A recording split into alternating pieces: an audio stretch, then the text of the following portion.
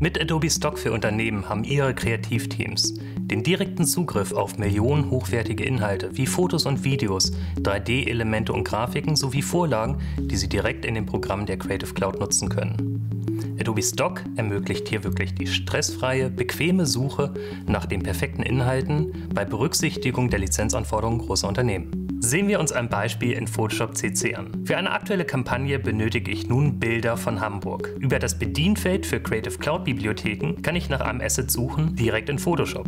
Dieses Bild erfüllt nun ideal unsere Anforderungen. Daher speichere ich die Vorschau in meinen Creative Cloud Bibliotheken. Bis zum Kauf ist es noch mit einem Wasserzeichen versehen. Ich ziehe das Bild aus der Bibliothek in ein Dokument und kann dann mit der Bearbeitung starten. In meinem Beispiel wende ich eine Korrekturebene an. Die Lizenzierung erfolgt ganz einfach durch Klick mit der rechten Maustaste auf das Bild in der Bibliothek.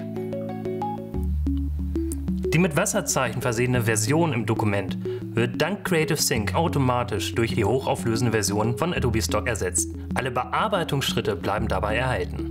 Jeder Nutzer im Creative Cloud Team kann sehen, dass ich das Bild lizenziert habe. Die mit Wasserzeichen versehene Version wird auch in der Bibliothek anderer Teammitglieder automatisch ersetzt. Jemand aus meinem Team hat ein weiteres Bild zu Hamburg bereits lizenziert, dieses nehme ich auch in meine Broschüre mit auf.